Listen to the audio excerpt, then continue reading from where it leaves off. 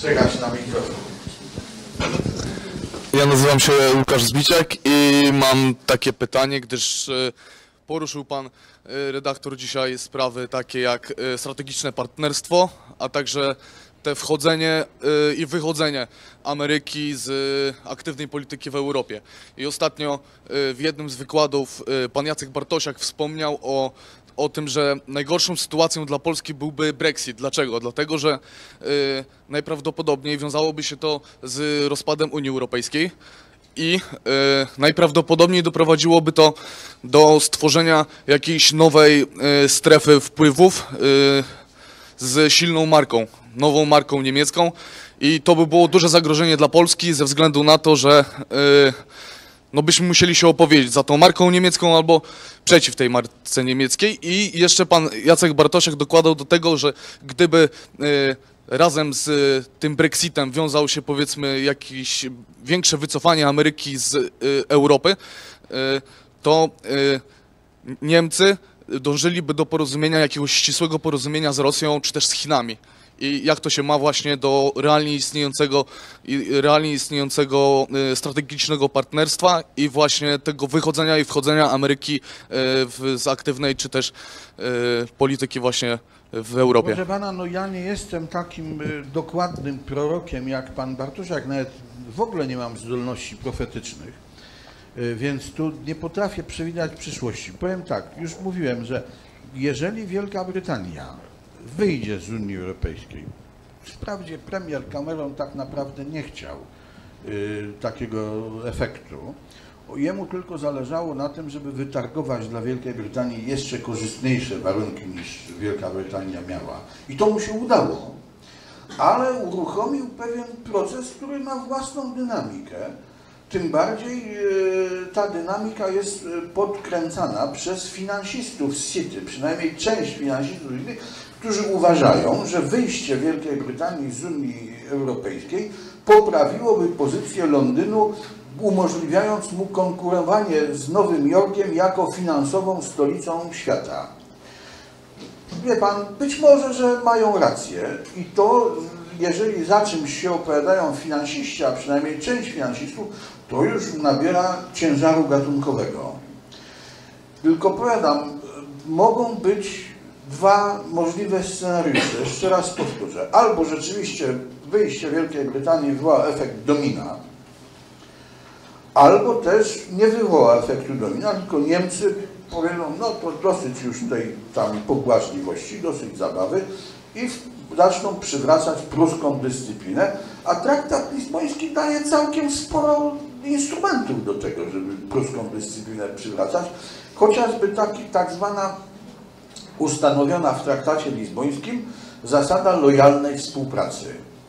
Ona głosi, że państwo członkowskie, niezależnie od kompetencji przekazanych y, do Unii Europejskiej, musi powstrzymać się przed każdym działaniem, które mogłoby zagrozić urzeczywistnieniu celów Unii Europejskiej. Mogłoby zagrozić. Nie wiadomo, czy by zagroziło, ale przynajmniej teoretyczna, teoretyczne ryzyko takie istnieje, ponieważ chodzi o cele Unii Europejskiej, no to, a nie cele poszczególnych państw członkowskich. Więc wiadomo, że wyłączną kompetencję w określaniu tego, co mogłoby zagrozić, a co nie, mają władze Unii Europejskiej, prawda? Czyli tam pan Timmermans i tam inni. Nie, to znaczy, że właściwie suwerenność państwowa w ramach Unii może być w każdej chwili zlikwidowana. W każdej chwili może być zlikwidowana. To w przypadku przywracania pruskiej dyscypliny takie instrumenty są. Wyrok Europejskiego Trybunału Sprawiedliwości w Luksemburgu wobec państwa krnąbrnego musi być wykonany. Tu nie ma żadnych tam e, zmiłuj się, prawda? Więc traktat lizboński daje całkiem dużo instrumentów całkowicie legalnych, dopóki państwo nie wypowie tego traktatu, no to, to musi się do niego akomodować. Ale z, załóżmy, że występuje efekt domina. Proszę Państwa, to wcale nie oznacza, że pozycja nasza jest lepsza. Bo jak się rozpada jakaś większa całość, to pierwsze pytanie, jakie się pojawia, jakie granice będą miały części, które z tej całości się wyłonią. A jeśli nawet nie granice, to jaką pozycję wyjściową będą miały poszczególne części? Można ze stuprocentową pewnością przyjąć, że w tej sytuacji, kiedy się by scenariusz domina zaczął realizować, państwa mądre i silne próbowałyby poprawić sobie pozycję wyjściową kosztem państw głupich i słabych. Polska niestety należy do tej drugiej kategorii. I to, tu też by żadnej litości nie było, żadnej staroświeckiej rewerencji. Dlatego ja nie wchodzę w tę marka, nie marka i tak dalej. Ale tylko, że o tym to trzeba było myśleć w 2003 roku, jak było referendum akcesyjne. Teraz to już nie ma co. Teraz to już nie ma co. Myśmy się dali uwieść propagandzie, że Unia sypnie złotem i znowu będzie jak zagierka. Ale jak ktoś płaci, to wymaga. I ja na przykład byłem przeciwnikiem y, Anschlussu. Z jednego powodu, nie z jakichś takich urojonych, tylko z jednego powodu, bo, znaczy właściwie jest dwóch. Po pierwsze, poza Unią jest życie. Poza Unią jest życie. No weźmy Szwajcarię, która nie należy do Unii, bo nie chce. Kiedy argumentowałem podczas dyskusji przez referendum akcesyjne, to wszyscy mówili tak, aha, Szwajcaria to jest bogate państwo. No prawda, ale przecież nie dlatego, że się gdzieś zapisała, tylko że się rządzi rozsądnie. No to my też się rządźmy rozsądnie. Może od razu się, bo to przez stulecia to bogactwo narastało, ale wejdziemy na właściwą drogę. Proszę Państwa, w 90 roku zaprosiliśmy do Polski Miltona Friedmana. No, taki amerykański ekonomista, już nie żyjący, laureat Nagrody Nobla z ekonomii i zorganizowaliśmy mu spotkanie z Obywatelskim Klubem Parlamentarnym. Jeszcze wtedy światło nie było oddzielone od ciemności, nikt tak dokładnie nie wiedział, co tu się będzie działo. I Milton Friedman w, w czasie tego spotkania udzielił bardzo rozsądnej rady, która i dzisiaj jest aktualna. On powiedział tak, Polska nie powinna naśladować bogatych krajów zachodnich, bo nie jest bogatym krajem zachodnim. Polska powinna naśladować rozwiązania, które boga, jakie bogate kraje zachodnie stosowały u siebie, kiedy były takie biedne jak Polska. To jest bardzo rozsądna rada i nadal aktualna. Tylko jak myśmy w 1991 roku podpisali porozumienie ze, ze, stowarzyszenie ze wspólnotami europejskimi, to co się zaczęło wtedy? Wspólnoty europejskie zaczęły nam, nam, nam podsuwać tak zwane standardy. To znaczy zmuszać Polskę, żeby się zachowywała, jakby była bogatym krajem zachodnim.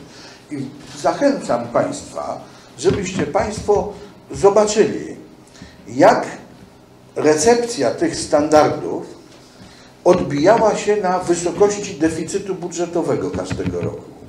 Tu jest równoległy wzrost, jeden i drugi. Po prostu państwo funkcjonowało coraz drożej, coraz drożej, coraz drożej i w rezultacie do, doszło do tego, że u nas się nic nie opłaca. No to daleko, no to weźmy tu Łódź, no co się stało? Kto jest największym pracodawcą w Łodzi? Uniwersytet. A więc jednostka budżetowa. No to z czego się ma brać bogactwo? Z czego się ma brać? Z mieszania herbata się nie robi słodsza, jak się cukru nie dosypie, prawda? Bo to tak żeśmy się wpędzili. A propaganda była jaka? No jak nie Unia, to Białoruś albo Władywostok, nawet rdzennie polskie miasto Władywostok, prawda? No, no, no, niestety za takie błędy się płaci. Za takie błędy się płaci. Jeżeli ktoś liczy na to, że ktoś go ozłoci, no to się przeliczy, bo nie ma jeżeli ktoś wierzy, że Niemcy przez całe dziesięciolecia żyłują swoich podatników, żeby dogodzić Grekom, Portugalczykom, Polakom, Słowakom, no to ja, ja oczywiście nie mogę mu zabronić w to wierzyć, ale sam w takie rzeczy nie wierzę. Ten polityczny aspekt integracji europejskiej ma oczywiście swój dalszy ciąg. Akurat po y, całkiem niedawno po y, referendum Wielkiej Brytanii, które zakończyło się y, zwycięstwem y, eurosceptyków, to znaczy y, zapoc- zapoczątkowało pewien proces, który może zakończyć się wyjściem Wielkiej Brytanii z Unii Europejskiej. Mówię może, dlatego że nic jeszcze nie jest przesądzone. Warto tutaj przypomnieć procedurę, jaką traktat lizboński ustanawia w takich przypadkach. Otóż państwo, które chce y, wyjść z Unii Europejskiej, składa do władz Unii Europejskiej stosowny wniosek. Ten wniosek staje się następnie przedmiotem negocjacji, a więc mamy dwie możliwości. Albo negocjacje doprowadzą do porozumienia, albo nie. Ale powiedzmy, że doprowadziły do porozumienia, to to porozumienie zostaje przedstawione, ma zostać przedstawione do zatwierdzenia Parlamentowi Europejskiemu i Radzie Europejskiej. I znowu mamy dwie możliwości, albo zatwierdzą, albo nie zatwierdzą, ale powiedzmy, że zatwierdzili. No to wtedy to państwo opuszcza Unię Europejską na warunkach uzgodnionych w porozumieniu i zatwierdzonych. Co się dzieje, kiedy e, albo negocjacje nie doprowadziły do porozumienia, albo nawet doprowadziły, ale to porozumienie zostało zatwierdzone. To państwo też może opuścić Unię Europejską, ale dopiero po dwóch latach od złożenia wniosku. I musimy w związku z tym jeszcze o jednej instytucji y, powiedzieć, bo inaczej nie rozumielibyśmy, po co są te dwa lata. Musimy powiedzieć o tak zwanej klauzuli solidarności. Otóż traktat lizboński ustanawia klauzulę solidarności, ustanawia pewną procedurę, która się nazywa klauzulą solidarności. Ona jest bardzo podobna do starej, poczciwej doktryny Breżniewa. E, Otóż, jeżeli w jakimś państwie członkowskim Unii Europejskiej demokracja jest zagrożona, to Unia Europejska na prośbę tego państwa może udzielić mu bratniej pomocy również w postaci interwencji wojskowej. Proszę Państwa, skąd wiemy, że demokracja w jakimś państwie członkowskim jest zagrożona? No czyż trzeba nam lepszego dowodu niż ten wniosek o wystąpienie z Unii Europejskiej? Od razu widać, że tam z demokracją jest niedobrze.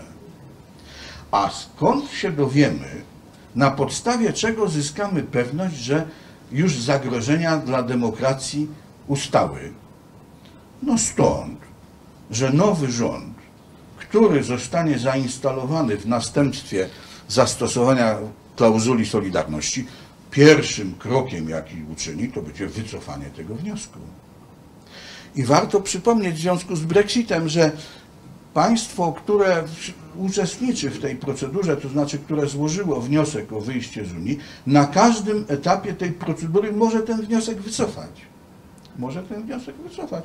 Na każdym etapie tej procedury. W związku z tym nic jeszcze nie jest przesądzone z wyjątkiem jednego. Otóż na, następnego dnia, kiedy już wyniki y, referendum brytyjskiego y, się wyjaśniły, niemiecki, y, niemiecki minister spraw zagranicznych Walter Steinmeier zwołał do Berlina sześć państw, ojców założycieli Unii Europejskiej, gdzie nakreślił kierunek dalszego pogłębiania integracji.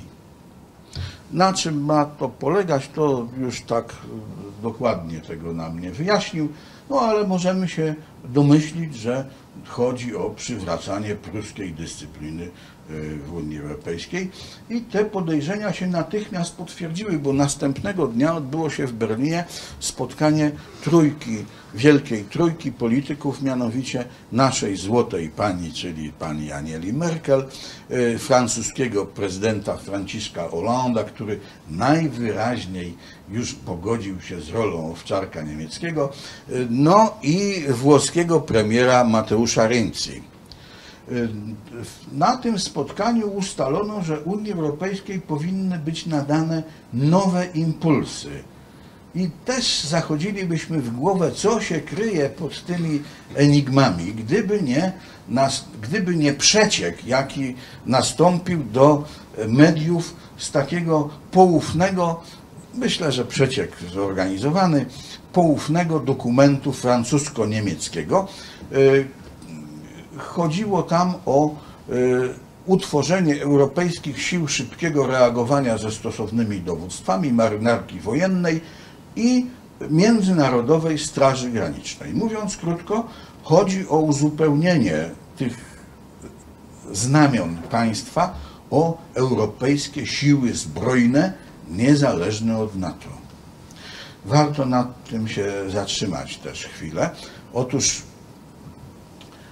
kiedy w 1954 roku państwa zachodnie zgodziły się na to, żeby Republika Federalna Niemiec posiadała armię, oczywiście pod pewnymi kondycjami, tam ta armia nie mogła mieć broni masowej zagłady i tak dalej, y, ale zasadniczo się zgodziły i w następnym roku, to znaczy w 1955 utworzona została Bundeswehra, to Stany Zjednoczone wmontowały Bundeswehrę w całości w struktury Sojuszu Północnoatlantyckiego, żeby poprzez te struktury mieć oko na to, co Bundeswehra robi, na wypadek, gdyby Hitler zmartwychwstał.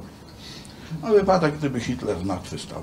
O, Hitler nie zmartwychwstał, ale to nadal się to utrzymuje. Niemcy co pewien czas puszczały takie balony próbne. Bo warto sobie uzmysłowić, na czym polega polityka niemiecka, jak dwa kierunki polityki niemieckiej. Po pierwsze, usunięcie możliwie wszystkich negatywnych dla Niemiec skutków wojny przegranej przez Adolfa Hitlera i po drugie zapewnienie Niemcom pozycji mocarstwa światowego. To są dwa cele niemieckiej polityki i wyprowadzenie Bundeswehry spod amerykańskiej kurateli to jest uchylenie chyba przedostatniego następstwa e, wojny przegranej przez Adolfa Hitlera. Stany Zjednoczone dotychczas odpowiadały na to stanowczym nie. Doskonale sobie zdają sprawę, o co tu chodzi. I Stany Zjednoczone odpowiadały stanowczym nie, to znaczy powtarzały aż do znudzenia, że sprawę bezpieczeństwa euroatlantyckiego należy traktować łącznie. To była taka w przełożeniu na język ludzki odmowa tworzenia, odmowa zgody na tworzenie europejskich sił zbrojnych niezależnych od NATO. Teraz nie usłyszeliśmy po tym przecieku, nie usłyszeliśmy żadnego dementi ze strony Stanów Zjednoczonych. Co pokazuje, że bardzo możliwe, iż Stany Zjednoczone powoli oswajają się z myślą, że powstaną europejskie siły zbrojne, niezależne od Sojuszu Atlantyckiego. Ja odczytuję to jako element kokieterii amerykańskiej wobec Niemiec w sytuacji, kiedy Stany Zjednoczone próbują zmontować taką krucjatę antyrosyjską przeciwko złemu ruskiemu czekiście Putinowi. Y, No i trudno sobie wyobrazić taką krucjatę bez udziału Niemiec. No po prostu to jest, byłaby jakaś karykatura takiej krucjaty. I pytanie jest takie, jakie argumenty mogą Niemców do tego przekonać, żeby porzuciły strategiczne partnerstwo z Rosją i przyłączyły się do tej krucjaty. Warto zwrócić uwagę, proszę Państwa, na to, e, co się e, wydarzyło w Niemczech po zakończeniu niedawno zakończonych manewrów Anakonda na terenie Polski. Otóż niemiecki minister spraw zagranicznych, a więc nie jakiś kawiarniany tam amator, tylko minister spraw zagranicznych, Walter Steinmeier, ofuknął na to za wymachiwanie szabelką i opowiedział się za zniesieniem sankcji wobec Rosji. Został za to ofuknięty przez część niemieckiej prasy, co pokazuje, że w Niemczech toczy się dyskusja, co Niemcy powinny zrobić. Czy przeczekać prezydenta Obamę i jego tam fantasmagorię i y, trzymać się strategicznego partnerstwa z Rosją, czy też porzucić strategiczne partnerstwo z Rosją i przyłączyć się do krucjaty pod kierownictwem Stanów Zjednoczonych. Nie wiemy, co Niemcy zrobią. Y, Natomiast warto się zastanowić, jaki argument mógłby być decydujący dla przekonania Niemiec do porzucenia strategicznego partnerstwa z Rosją i przyłączenia się do krucjatu. Otóż moim zdaniem takim argumentem mogłaby być amerykańska zgoda na rewizję postanowień konferencji w Poczdamie odnośnie tak zwanych ziem utraconych. To by mogło Niemcy przekonać, bierzmy co nasze, z Moskalami się potem jakoś dogadamy, a niech nam ktoś spróbuje to odebrać. Więc to warto zwrócić uwagę, że Unia Europejska, wszyscy ludzie będą braćmi i tak dalej, ale państwa nie przestały istnieć. Interesy państwowe nie przestały istnieć, narody nie przestały istnieć i interesy narodowe nie przestały istnieć. I trzeba po prostu o tym pamiętać, bez jakiegoś zacietrzewienia, bez jakiegoś, no ale też i bez złudzeń. Ale też i bez złudzeń. Proszę Państwa, to jest ten polityczny aspekt Unii Europejskiej, który się rozwija na naszych oczach, no i nie wiadomo, gdzie ten rozwój nas zaprowadzi. Czasami ciarki mogą człowiekowi przejść, jak puści wodze fantazji. E, Dzień dobry panu. Dzień dobry. Mam pytanie odnośnie tej naszej obecnej ścisłej współpracy z Węgrami oraz ze Słowacją i z Czechami. Czy taki układ po pierwsze jest trwały, czy to nas rzeczywiście wzmacnia w jakichkolwiek negocjacjach? Wydaje się, że tak. A po trzecie, czy co do tej trwałości, czy antagonizm związany z mniejszością węgierską na Słowacji, to nie powoduje, że łatwo go jednak rozsadzić? Dziękuję. To prawda, takie ryzyko jest, ale proszę zwrócić uwagę, że e, to współdziałanie w ramach Grupy Wyszehradzkiej to jest, e, mogłoby to się objawić w postaci heksagonale uzupełnionego i poprawionego. O tym e, w 2001 roku pisał nawet Jan Nowak-Jeżrański w maju 2001 roku w Rzeczypospolitej w takim artykule, czy NATO jest zagrożone. On tam powtarzał amerykańskie zastrzeżenia wobec pomysłów tworzenia europejskich sił zbrojnych niezależnych od NATO i gdyby tylko to było, to ten artykuł by nie zasługiwał na uwagę. Ale tam się znajdowało jeszcze jedno zdanie że powin, w tej sytuacji e, powinna się pojawić grupa państw europejskich ze Stanami Zjednoczonymi na, ce, na czele, które by oświadczyły, że obecna formuła Unii Europejskiej jest propozycją nie do przyjęcia. To było nic innego jak sugestia heksagonale uzupełnionego i poprawionego ze Stanami Zjednoczonymi na czele, bo wadą poprzedniego heksagonale, tego pierwszego, że ono nie miało silnego lidera i Niemcy bez trudu to rozgoniły całe towarzystwo. Ze Stanami Zjednoczonymi na czele, jako protektorem, o, to by tak łatwo nie poszło. Być może Niemcy nawet by nie próbowały. I warto by się, warto by wysądować. No, myślę, że prezydent Obama już żadnych tam y, tych y, decyzji nie będzie podejmował teraz, ale warto by wysądować taką rzecz. Ja, gdybym mógł, to bym to zrobił.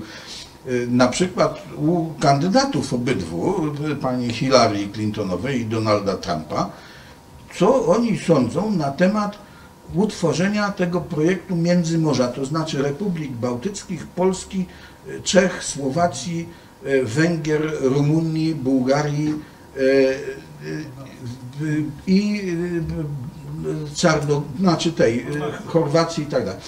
Otóż to jest około 80, bez Włoch, to jest około 80 milionów ludzi, więc nie stanowi dla nikogo żadnego zagrożenia, bo same Niemcy mają 80 milionów ludzi. Ale może, że tak powiem, jako protektorat amerykański odpowiednio, że wzmocniony, może stanowić dobrą taką y, nie, zaporę przed różnymi niespodziankami ze strony Rosji, a jednocześnie może stanowić pewną przeciwwagę dla strategicznego partnerstwa niemiecko-rosyjskiego. Warto spróbować. To no, warto spróbować. Jak się nie uda, no to gorzej nie będzie. To tak jak taki restaurator w Krakowie, niejaki Turulski, trzymał taką restaurację czynną 24 godziny na dobę. No, ponieważ była czynna 24 godziny na dobę, to nigdy tam nikt nie sprzątał. No i strasznie brudno tam było i kiedyś tam zwrócili mu uwagę, panie Turowski, no może by pan sprzątnął tam od, cza- od czasu do czasu, może by pan sprzątnął, a ten pokazał swojemu rozmówcy tłum ludzi, mówi pełniej nie będzie.